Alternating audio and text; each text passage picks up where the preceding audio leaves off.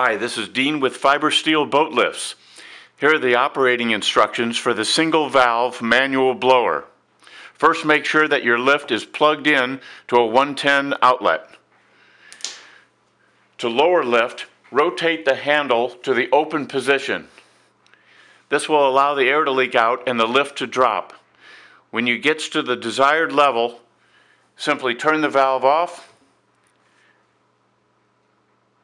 To raise the lift, turn the blower motor on, rotate the control handles to the open position, and let the lift raise to the desired level. When it gets to that level, turn the blower off and close your valve handle. You can now close your lid.